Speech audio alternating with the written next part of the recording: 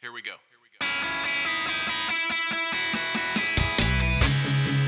At our church, Jesus is Lord. That single belief calls us together as a community and sends us into our world with hope and purpose. At our church, your past will never define your future. There's always redemption, which means there's always a brighter day. At our church, we don't think we're better than any other church out there. We're just doing our best to become our best. At our church, we want you to believe in God, but we also want you to know that God believes in you. We are not against people who don't attend church anywhere. Instead, we pursue them with love, the very same love that's pursuing us. At our church, we're learning to serve God with all our hearts and we're learning to worship Him with all our lives. And if you're looking for the perfect church, we're not it. At our church, we will make mistakes, but we will choose to grow from them. At our church, we're part of a global community that's knit together by the resurrection of Jesus. And by the way, at our church, we believe that really happened too. At our church, we will engage with people who are in real need because we are the hands and the feet of Christ. And finally, we need you to hear this loud and clear. At our church, it's not really our church at all, it's His. And we live and move and breathe in His church for His glory and His fame, not ours. So here's the invitation. You're invited to jump in with your whole heart at your own pace and to experience the life that awaits you in Christ. Friends, this is going to be good. Welcome to our church.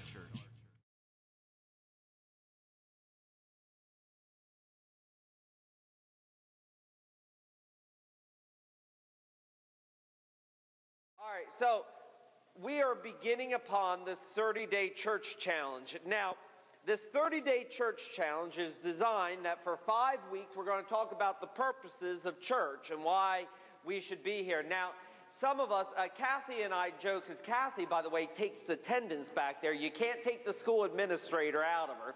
She takes attendance, and uh, we, we keep track, and we notice something in our church. We have the A group, the B group, and the C group. Now, the A group, they're here no matter what, unless it's snowing. Unless it's snowing, but they are here no matter what. The B group, they're here about two Sundays a month, and the C group, they're here the other two Sundays of the month. And then we have the D group, and you know who you are. We see you about three times a year, so welcome back if that's you. Uh, but we notice that there's uh, these groupings, and you know, as a pastor, uh, people come to me with all kinds of their all their issues and all their problems, and I wish that there was some sort of magic wand. And I know what you want is that you want some sort of pill that I can give you, a little pill of Jesus, that you can swallow that pill of Jesus, and then instantly your life would turn out better. Uh, uh unfortunately, or actually, fortunately, the Christian life is about effort on our part. Now, it's effort based upon the strength that God has given us. God has given us the grace, God has given us the strength. It is our job to use what He has given us to be better. God desires for us to be better. He desires for us not to keep living the same lives and doing the same thing over and over and over again. Any of you feel like you're on that hamster wheel? You just keep going over and over, doing the same thing. That is not the life that Jesus Christ died for us to have. And one of the precious gifts that he gave to us was the church, is the church. Now, one of the things that we've talked about the church is not an institution, the church is not a building, but the church is the body of the followers of Jesus Christ coming together.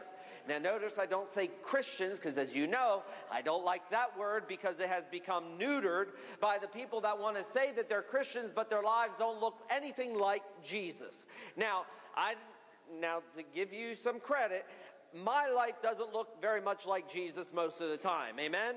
But one thing that I'm trying to do is progress and cooperate with the Holy Spirit to become more like Jesus. And you know what that means is that there are going to be things that I'm going to have to do that I don't want to do.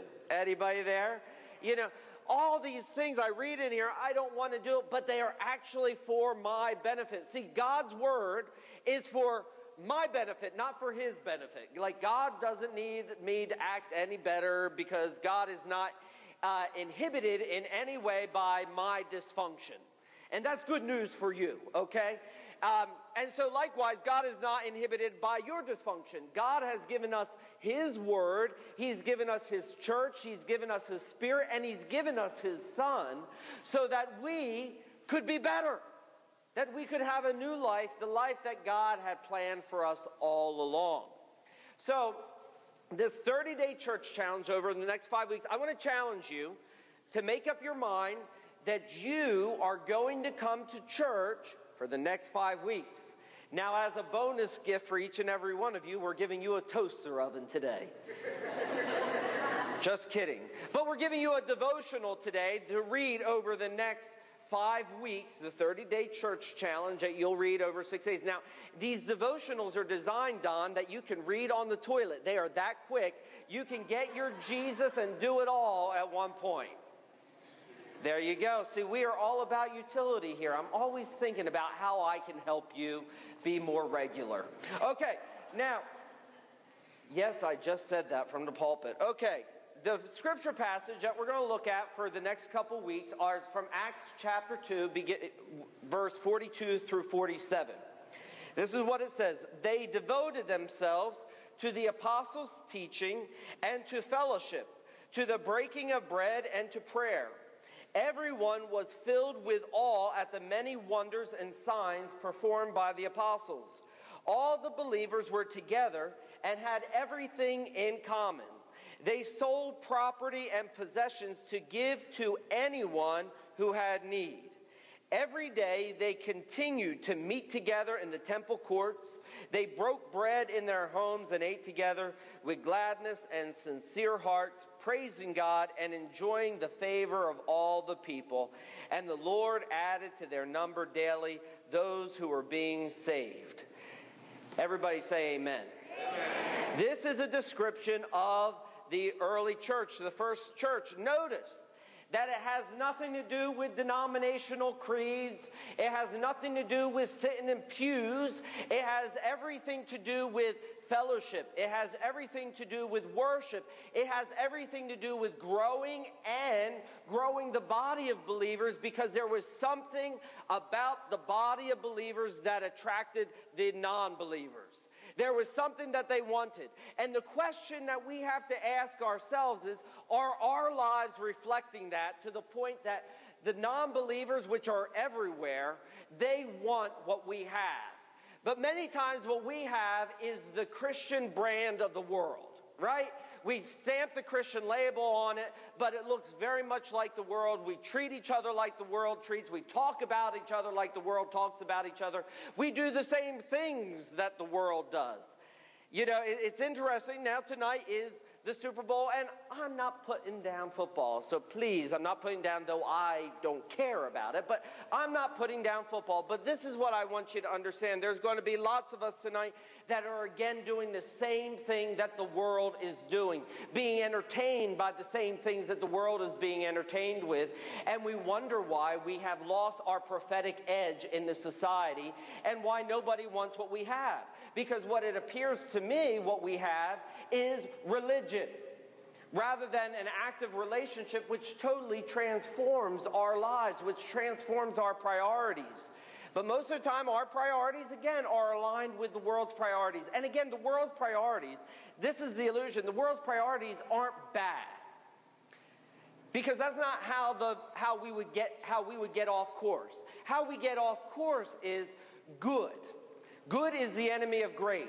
See, the world tells you you got to be a good parent, you got to be good husband, good wife, you got to be good at all, good at your job, good, good, good. How many of us are tired of being good? I'm tired of trying to be good because I just can't be good.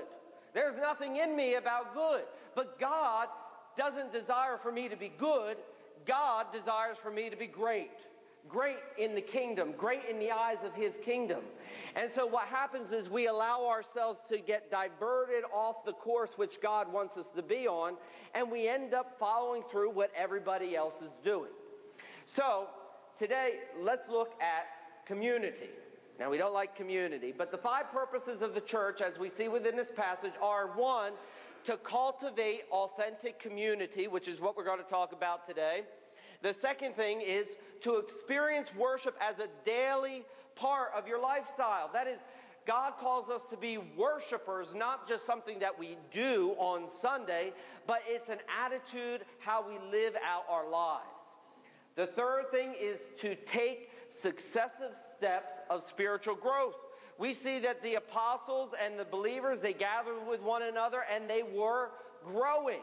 They were doing something different. By the way, if you haven't been growing by doing the same thing that you've been doing, you might want to stop the same thing that you've been doing. Amen? Thinking that somehow, if I just keep doing it over and over, it will work out, and it doesn't. Fourth thing is the practice personal stewardship. That is, whatever we have been given, we've been given it as a gift. We are blessed to be a blessing with one another. Some of the most stingy people I've ever met are the Christians. Okay? And let me tell you something.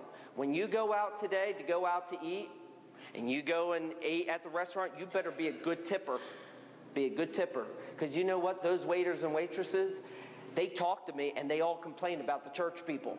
They say the church people are stingy. Now, what I see within the New Testament, the church people give, give, and give. So don't be stingy or I'll be coming after you. And you don't want to see this first thing in the morning. All right, that's why we start church at 11. Gives you time to deal with it. And the fifth thing is to reach out to the world around us. Now, why on earth do we need one another? A lot of people tell me that they don't need to go to church to be a Christian. And you know what? That is true. That's true, but it's one part of the equation. You don't need to go to church to be a believer and a follower of Jesus, but if you are a believer and follower of Jesus, you will go to church. So it's the chicken or the egg type of thing. And why will you go to church? Not because it's fun, and not because the pastor is extremely good looking, which all the above are true for you. You are just blessed with that. But or the pastor has a good sense of humor and very charming and witty, but you go to church because God calls us to be together. And we, my friends, we have to start learning to obey God, not because it appeals to what we want, but because God has said it and that's it. Okay? Now, so a lot of people, we don't like community, and we're going to talk about why we don't like community because I've heard it from you and I've said it myself that I don't like community. I think there, there was a quote that I heard somewhere that um, I like humanity, but it's a human race I'm not fond of. You know, I like people and I like the concept of community, but when we come together, uh, we seem to just get on each other's nerves. Okay? How many of you get annoyed with people in your own household? Amen. There you go. Everybody's like, yes, that's me. Uh, okay because uh, you might be here with somebody in there. Now, Genesis 2.18, this is oftentimes what we apply to the marriage uh, stuff, but Genesis 2.18 says, the Lord God said, it is not good for man to be alone. So he made a helper suitable for him. My friends, the same applies to us, whether you're married, you're single, or whatever. It is not good for us to be alone, to be isolated, to think that we're an island, because here's what ends up happening. One, we get ideas. Anybody there? And those ideas seem pretty good to ourselves, and then they're pretty lousy when we reflect upon them with other people. Sometimes we have to reflect upon other people. We've got to bounce it off of one another. But God, what's the goal here is that the partner is a helper, that we all need help. We all need help carrying the load in our life. Now, the Bible gives us some indication of what this Christian community does for us. In Ecclesiastes 4, we're told that if one falls down, someone can pick you up. If you're cold, someone can be there to keep you warm. All those different things, and we, right, we read that during uh, wedding times too, and uh, you know, which kind of makes me gag a little bit because then I have to do the, you know, it, it's tough being a single pastor doing the marriages all the time. It's like love, love, love. Okay, anyway. Uh, just telling you how I feel. Okay, so it provides support for one another. We need one another. We all can't do it alone. And that's the thing. We think that we can do it alone, and how successful are we doing it by ourselves? We're not very successful, and we fool ourselves into doing this. Like, um, uh, oh, Debbie, I'm going to tell a story because it just popped in my head. I'm going to tell the story, and you'll have to forgive me. But here's the story. Um, Debbie and I, we were good Weight Watcher buddies. All right, and we went to Weight Watchers for a, a good number of time there. And but what we would do is we would stop going to the meetings. We would just go get weighed in, and then we would go to Friendly's and pig out. Okay? Amen. All right. So that's what we do. And I know that's what a lot of people do. They get weighed in and then they go pick up. But we didn't even stay for the meeting because they were telling us all this phony stuff about, you know, well, you got to anchor yourself and this and picture yourself skinny. And I go, I can't even picture myself as I am. So, uh, all that stuff. So then what we ended up doing was we said, we don't need Weight Watchers because all we're doing is we're handing them money. So we'll weigh each other for free. Didn't work out all that well. Okay? It just didn't work out all that well. Why? Because we needed that accountability. We needed one another, and we fooled ourselves into thinking, hey, it was just about the 10 bucks. And don't you fool yourself into thinking, oh, it's just about the offering plate, what's being passed around here, and all that stuff. There's more to community than that. So we need help. The other thing is, oh, and this is the other one, provides opportunities to grow. In Proverbs 27 17, it says, As iron sharpens iron, so one sharpens another. Now, here's the thing we get on each other's nerves. We all do. And you all get on my nerves, okay? We get on each other's nerves. But here's the thing be, becoming like Jesus, I've told you this before, I am very much like Jesus when I first wake up in the morning. When I'm laying in bed, I am holy. I am in tune with the Lord. The birds are outside singing. The hills are alive with the sound of music when I wake up in the morning. And then I run into somebody. And then I want to run them over when I run into somebody, right? Right? It's easy to in concept to be a Christian, right? In concept, these things are easily applied. But actually, the only way that we ever get to grow is by taking the Word of God and applying it. And we have to apply it in difficult circumstances with difficult people. And my friends, that is why God has brought us together. Have you ever looked at the 12 disciples and looked at the people that Jesus brought together? These would not be the people that I would bring together. One, they couldn't stand one another. They had different agendas. I know we can't relate to the fact that we all have different agendas. They had different views of God, they had different interpretations, different vocations. Jesus called this band of misfits together and made them apostles. He made them the start of the church. It was the misfits that Jesus Christ came to use. And my friends, we are the island of misfit toys. Amen? Okay, God wants to use us and has a place in the kingdom. And what He does is, as iron sharpens iron, He gives us opportunities to forgive one another. He gives us opportunities to show grace to one another, to love one another, to accept one another just as Christ has accepted us. And so, those opportunities, it's an opportunity to grow.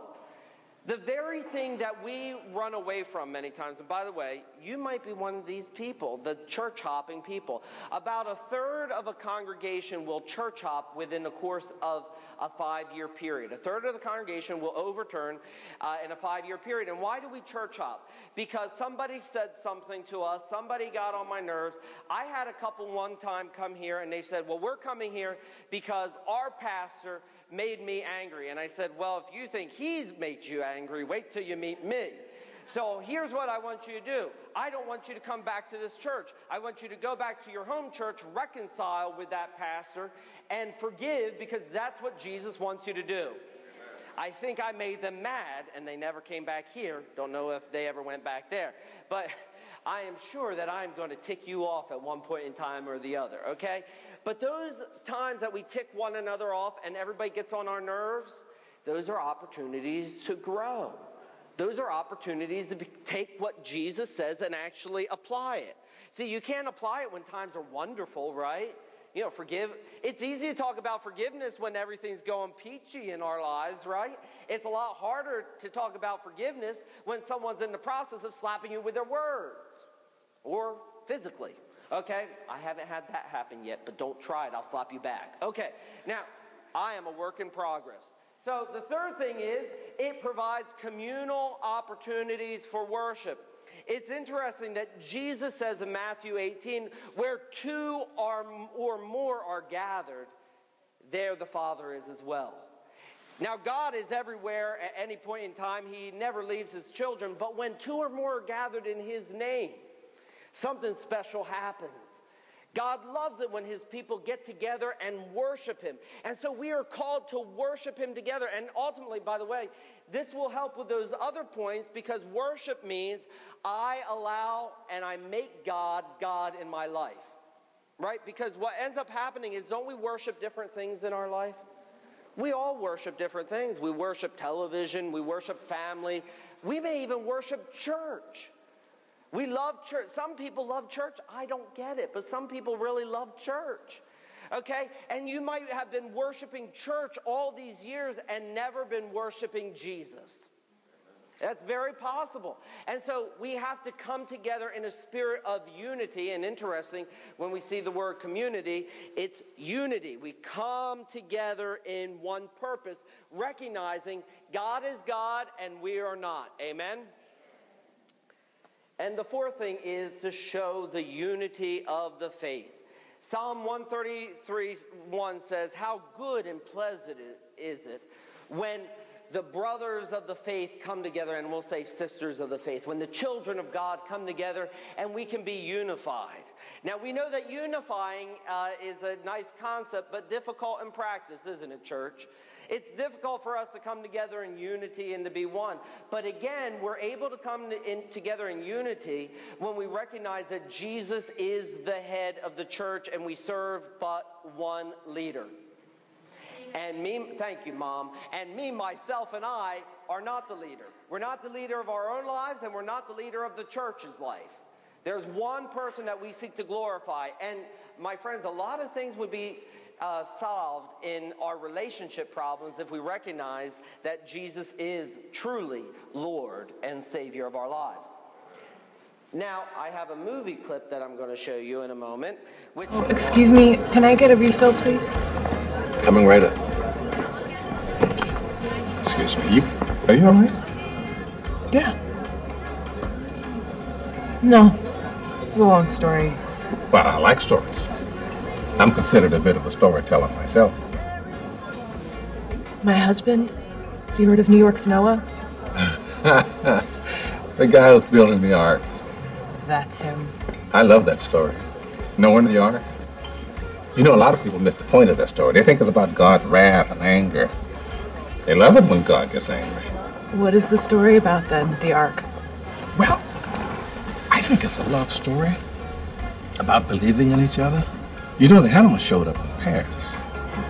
They stood by each other, side by side, just like Noah and his family. Everybody entered the ark side by side. But my husband says God told him to do it. What do you do with that? Sounds like an opportunity.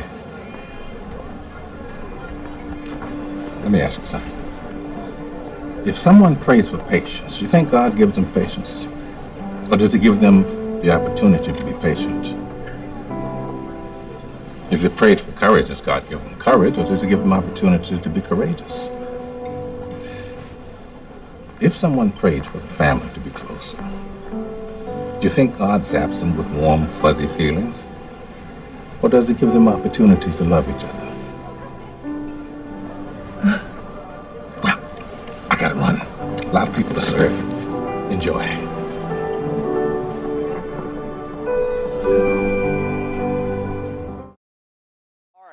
Have recognized this clip from the movie Evan Almighty, one of my favorite movies there. And, and Evan is uh, a congressman who God tells him to build an ark. And obviously, uh, building an ark in modern day times, uh, people thought he was just as crazy as Noah was. And so the family goes and leaves him because he's becoming quite nutty. Now, or as they see that he's becoming quite nutty.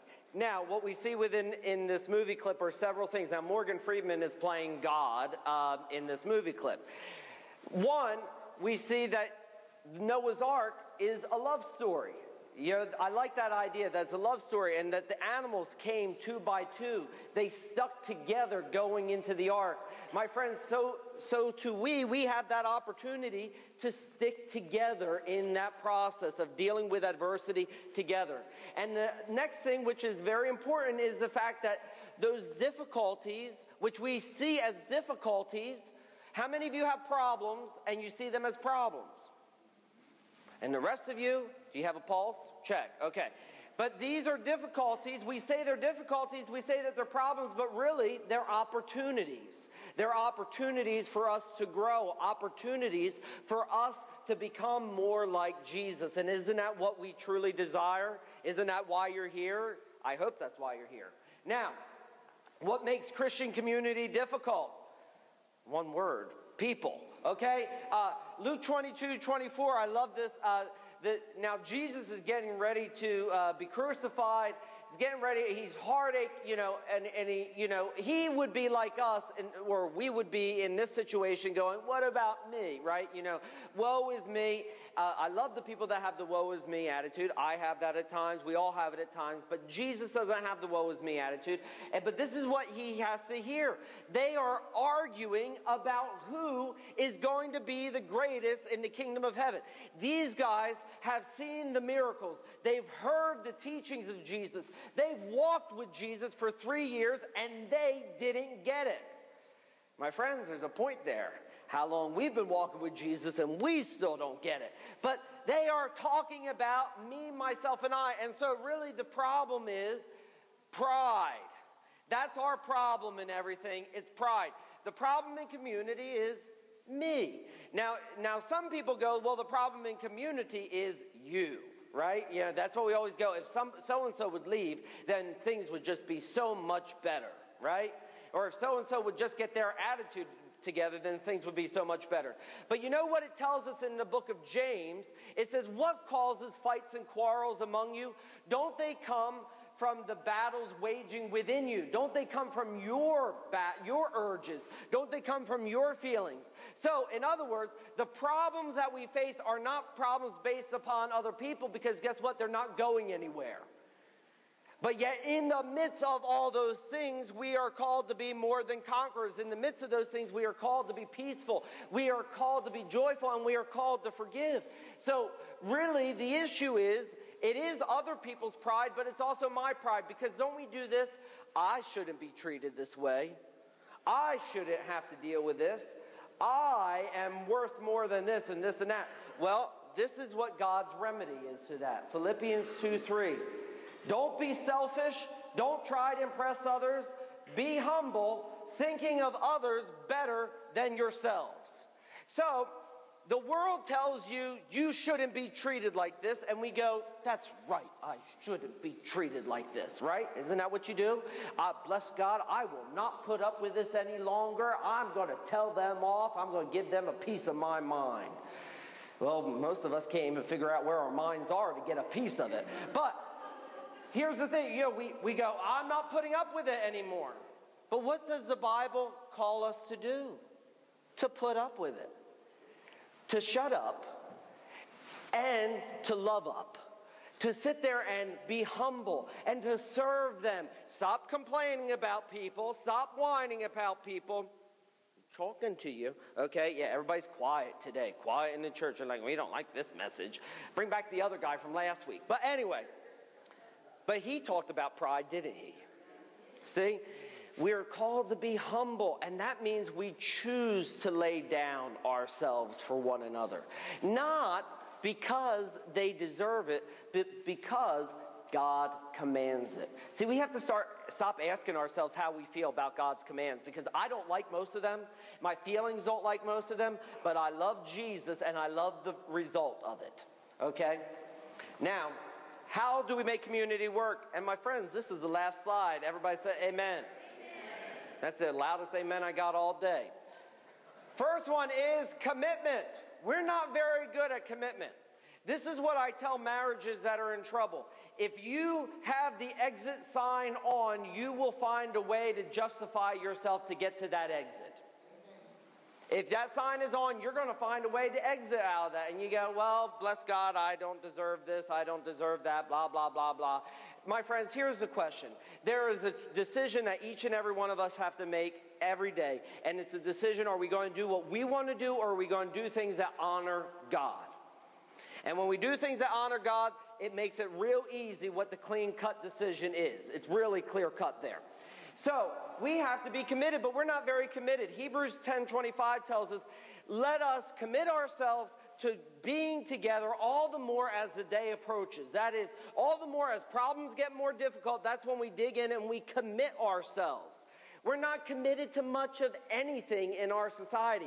If we don't like it, we don't have to do it. If people get on my nerves, look, there is a church on every block. And that's what some people do. They shuffle themselves from church to church to church, trying to find the perfect church. And they fail to recognize that they themselves are probably the problem. I'm just saying. You think that you're going to find the perfect church? There is no such thing as the perfect church because there are no such thing as perfect people. People will let you down, so you got to make a commitment. You got to go put the line in the sand. This day I choose, this is what I'm going to do. And when we make a decision, we got to stop asking ourselves how we feel about the decision. People always want me to go back and think about things that I've already made a decision on. You know, I have to make decisions all throughout the day for all different types of things, and I don't have time to overanalyze every decision. And people go, Well, did you think about this? I mean, you would be surprised, well, some of you wouldn't. I mean, the amount of talk and discussion that there has to go in with how this pulpit is set up, and whether or not I'm over here or I'm over here, whether or not there's a clavin over there or this or that. And I go, Really? 30,000 children die every day, die every day of hunger and malnutrition, and you want me to think about that? Don't have time for it. Make a decision and move on. We need to be decisive people. Amen? And we need to stop wishy washy. That's why nobody gets anything done in their life because they're sitting there overthinking it as if your brain could possibly comprehend the awesomeness of God. Just saying. Okay. Now, second thing is a focus on serving and building. See, some of us come into church and we go, What are they going to do for me? What about me? I like the people that they're sick, and somehow through osmosis, I'm supposed to know that they're sick. Like in the morning, God downloads into my brain, Jenny's sick. Oh, Jenny's sick. You know, people go, Well, nobody came to visit me. Well, your church attendance is like two out of four every month, so how will we know you're supposed to be sick? And why didn't you call us, right? Because what's our focus? What about me? What are you going to do for me? The focus of church, let me tell you something. Church is not designed to make you feel good. It's not designed to give you goosebumps because the flu will do that. It is not designed to do all that stuff, and it's not designed to serve you. It's designed so that we might serve one another. And ultimately, why are we serving one another? We're serving one another to serve Christ. And the other thing we have to start doing is using our words, building up, to build one another up. You know, I told you this before, my favorite sin is gossip. How many of you love gossip? I love gossip because it makes me feel better about me. Right? If I can talk about how bad you are, then I feel better about the dysfunction in my life. Amen? I love gossip. I know all of you are like, well, we're not listening to him anymore. Okay, but I love it. But we should be using our words at all times to build one another up. You know what the Bible tells us about how we're supposed to use our words? Praising God, thanking God, building one another up, helping, exhorting, all that stuff. What do we use our words? To judge and to tear down, and we wonder why things don't work. Vulnerability. Oh, we don't like this. This is another thing we don't like because, bless God, I don't want anybody to hurt me. Here's what I tell people when you come to join the church we're going to hurt you. I'm going to hurt you. I'm going to let you down. You're going to let me down. We're all going to hurt one another. But you know what? There is no relationship without vulnerability. That's what we learn in Genesis when God puts the tree in the garden and he gives the people a choice to obey him, gives Adam and Eve a choice to obey him or to take of the tree. What was God doing? He was allowing himself to be vulnerable. Why was he allowing himself to be vulnerable? Because there cannot be love without vulnerability. There can't be love, and God wanted us to freely choose to love Him, not because we had to, but because we want to.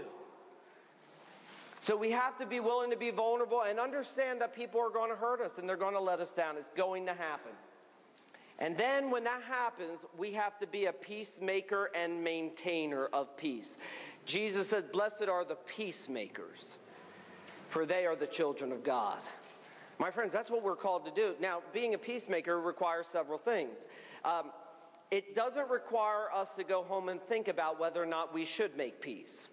It doesn't go home and require who's the blame, right? We like to play the blame game. Well, they did this and therefore I did that. No, no, no. Blessed are the peacemakers and the maintainers. Whose job is it to make peace? Raise your hand. Whose job is it to be the first to apologize? Raise your hand. And let me tell you something. I'm going to tell you a little secret, and some pastors won't tell you this. You don't have to feel it to say it. right?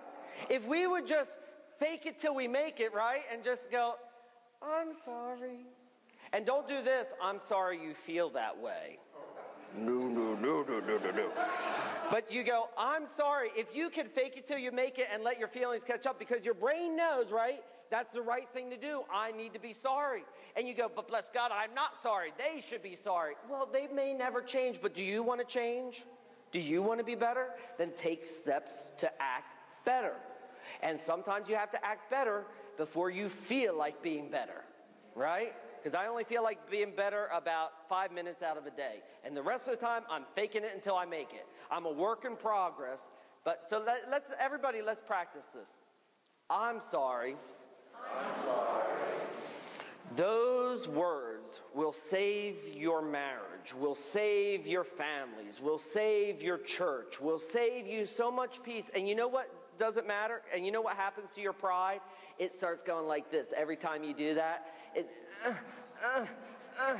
And you know what happens with Jesus in your life? Gets more and more. You decrease, Christ increase. That's what happens when we start doing what he tells us to do, even if we don't feel like it. Let's understand something. It doesn't matter how you feel because you don't know how you feel. It matters what God's word says. So you, you know what the Bible says about before you even come to worship? If you know that your brother or sister has something against you, or we can even say it the other way you have something against them. It says, lay your gift down at the altar, Jesus says, and go reconcile with them, and then come back and worship. How many of us are sitting here today with bitterness in our life? I meet so many mad Christians. They're angry at this person, angry at that person. They don't won't go talk to this person, won't go do this. You know what? It's a lot of work to stay angry, isn't it? There are people that go, Well, I'm not going to that because that person's going to be there. Well, now you just allowed them to control your life. And they don't even know they're controlling your life. You have a phantom menace in your life. So, my friends, do we want God to direct our lives or do we want to direct our lives? We've been doing a pretty lousy job ourselves, amen? amen? So, we are called into community to be better together through Christ so that Christ receives the glory. We are the island of misfit toys, but that's why Christ gets all the glory out of it. Because if we were all studly like me, then and then the world, as studly, handsome, and intelligent, and witty, and charming as me, then the world would not see the power of the gospel. But the power of the gospel comes to whosoever will. Whosoever will take the promises of God and apply them in our lives, that's the person that God's going to be able to use. Amen?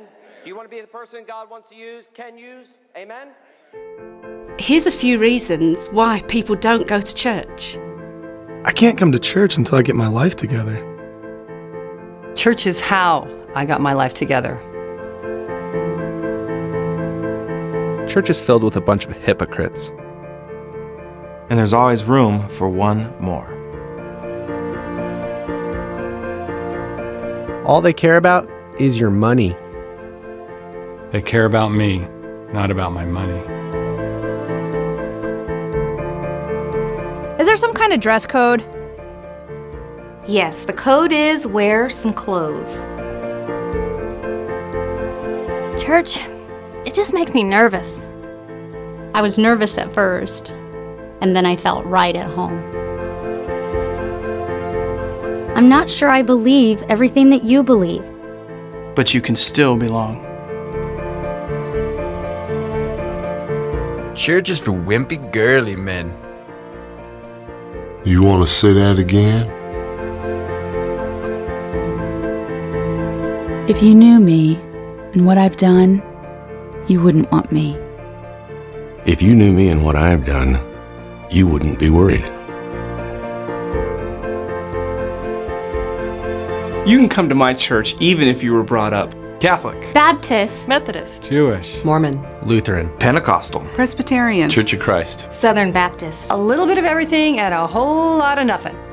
See, it's not about a religion, it's about a relationship. So please, come to my church. Where nobody's perfect. Where beginners are welcome. Where socks are optional, but grace is required. Where forgiveness is offered. Where hope is alive. And where it's okay to not be okay. Really.